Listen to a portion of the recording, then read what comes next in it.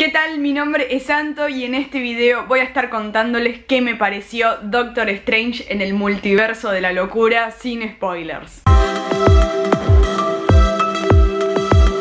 Ya vi la película dos veces el martes en una van premier tremenda que fue súper grande, que la vi en español con subtítulos en español descriptivos porque era una función especial para hipoacústicos. Yo no soy hipoacústica, pero una amiga sí, que me invitó y fue una experiencia muy particular y muy especial porque obviamente que en mi vida había visto una película en el cine en español con subtítulos en español descriptivos y fue como muy raro, pero al mismo tiempo es lo que decíamos con los chicos. El doblaje está muy bien porque el tono de voz lo buscan bastante parecido a lo que son las voces en inglés.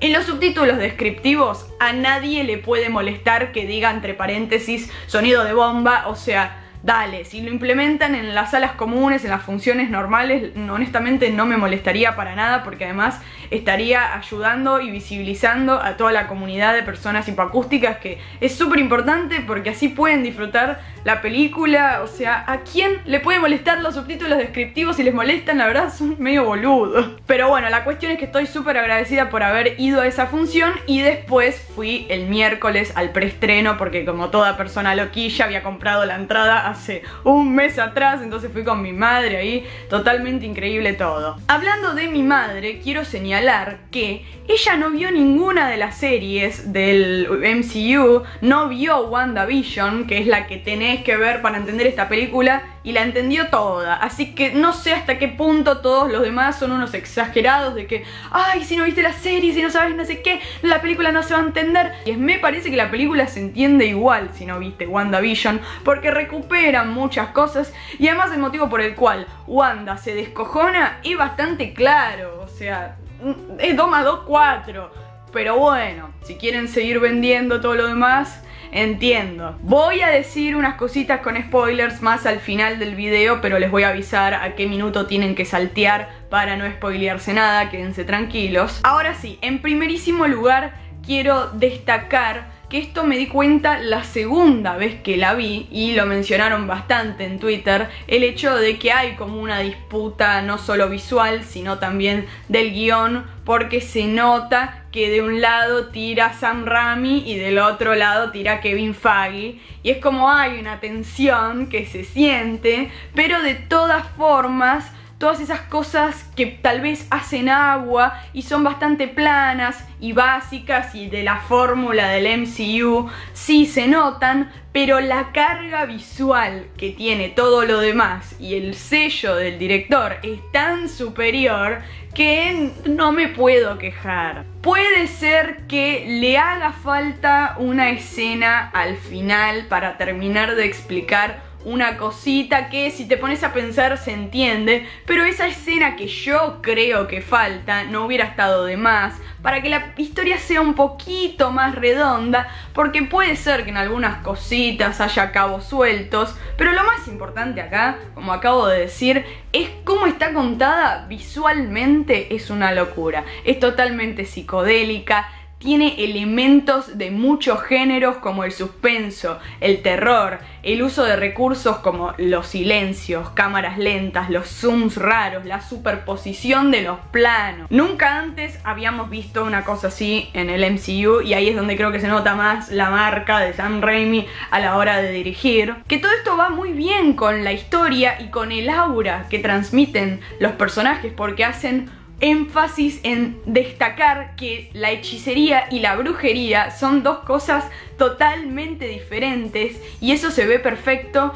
a través de los efectos visuales que, chicos, redoble de tambores, esto no me voy a quejar porque con la película, la primera de Doctor Strange, me pasó exactamente lo mismo. Sí, en algunas partes los efectos vos no te lo crees ni en pedo porque la pantalla verde es como media sospechosa, pero la construcción del arte y de los escenarios y de la magia en sí, que es intangible, inexistente, puede ser de cualquier forma. Entonces no está mal que los efectos sean un desastre y que todo sea muy alocado, porque son artes místicas, boludo. ¿Cómo trae a la vida, a las artes místicas, algo tan intangible, como ya dije. Todo eso se ve súper duper. A ver, me encantó la ejecución de los hechizos, también los monstruos.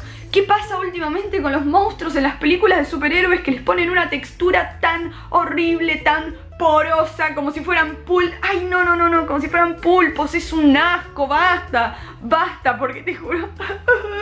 La música también acompaña súper bien, es como si fuera de iglesia porque se escucha que siempre hay un órgano sonando de fondo o un piano medio raro. O sea, cuando lo oigan van a entender a lo que me estoy refiriendo. Y hay dos partes en las que se destaca totalmente, una que es algo con Wanda y la segunda con Doctor Strange, que es como una pelea súper que a mí me encantó. O sea, no pueden criticar esa parte porque es re original, boludo, está, está buena. Pasando a las actuaciones en en general todos están muy bien, pero voy a destacar a tres personas ya se imaginarán a quiénes. En primer lugar, América Chávez me encantó, súper carismática, es una niña todavía que está como en una edad bastante complicada y me gusta toda esta búsqueda que le ponen, quiero ver más de ella a futuro porque siento que es un personaje que pueden recontra mega desarrollar y más con ese poder va a ser clave. Segundo, Benedict Cumberbatch, boludo, le dijeron, bueno, vas a interpretar 150 personajes distintos en una película y encima son todos diferentes, o sea...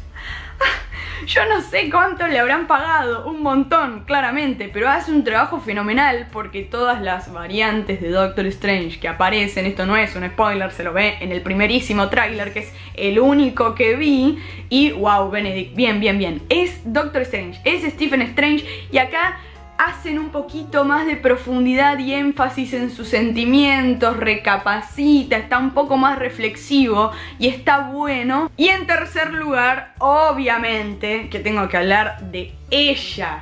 Ella, Elizabeth Olsen, por el amor de todos los dioses del multiverso, es espectacular ya vimos en WandaVision que la tipa puede actuar espectacular, puede transmitir muchísimas cosas. Acá la odias, la amás, te llega al cora, entendés por lo que está pasando y al mismo tiempo no lo entendés.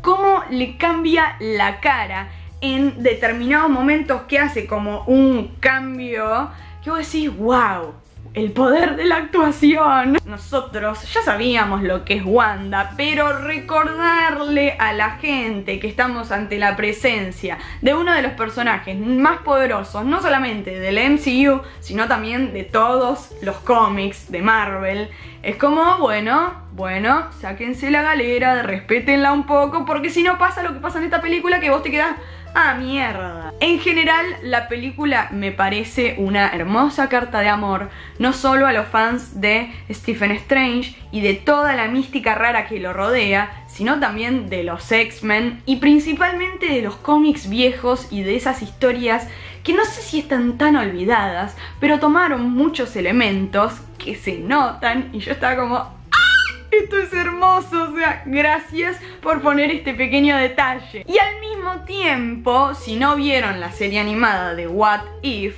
véanla porque podríamos decir, y esto no sé si ya lo dije en algún video, pero en Twitter seguro, es como un live action de lo que pasa en What If. Obviamente que tiene muchas cosas distintas, pero está bueno ver cómo se conectan los personajes, que en realidad no sé si se conectan, viste cómo es, que dijeron que sí, que no, pero, pero está buenísimo. No sé si me gustó más que Avengers Endgame y que la de Spider-Man, uno simpatiza más con determinados personajes. A mí me pasa que me gusta más Doctor Strange que Spider-Man, entonces obvio que voy a tener estos sentimientos. Y ahora sí voy a decir algunas cositas con spoilers en pantalla, les voy a poner a dónde tienen que saltar para terminar de ver este video. La escena que mencioné al principio, que a mí me parece que falta en la película, pero que si tenés un poco de sentido común te vas a dar cuenta que eso es lo que está sucediendo, cuando Wanda decide destruir el Darkhold,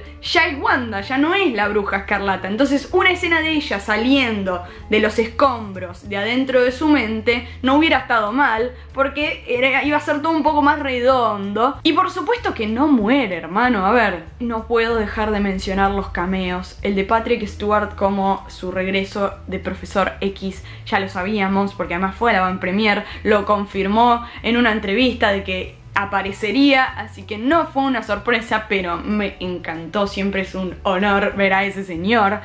Y todos los demás por Dios, Peggy Carter como capitana, como capitana América, claro, iba a ser capitana Marvel, que también.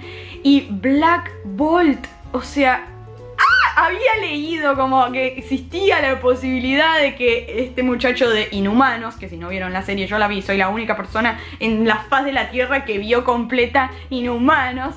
Dije, ay, hermano, qué piola que aparezca porque es un super mega personaje. Y obviamente Menos mal que no vi nada y me sorprendí en el cine con John Krasinski como Mr. Fantástico. Casi me descompongo, hermano. No, no, fue una cosa que el alma me voló. Fue como, ah, esto es hermoso. Gracias por escuchar a los pibardos. Gracias por este fanservice tan lindo. No sabemos qué va a pasar a futuro con estos personajes porque obviamente que en otros universos existen y tal vez tengamos la posibilidad de volver a verlos. Que, ay, por favor, yo me muero, me muero porque me encanta los Illuminati, ojalá que vayan por esa línea, porque todo lo que hacen es súper místico, increíble y hasta corrupto en algunos aspectos, entonces dame esa parte toda política, mística que necesitamos ver para darle un rumbo un poco más serio a todas las historias, porque son personajes de putísima madre y estaría bueno que se involucren más en esas cosas, así le damos algo distinto a la gente, ¿no? En conclusión, como vengo diciendo, es una película que disfruté muchísimo y acá la clave,